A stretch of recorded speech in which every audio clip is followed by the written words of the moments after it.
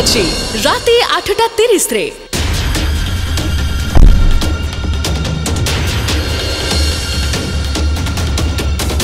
ମୋର ଅପେକ୍ଷା କରିବାର ଅଭ୍ୟାସ ନାହିଁ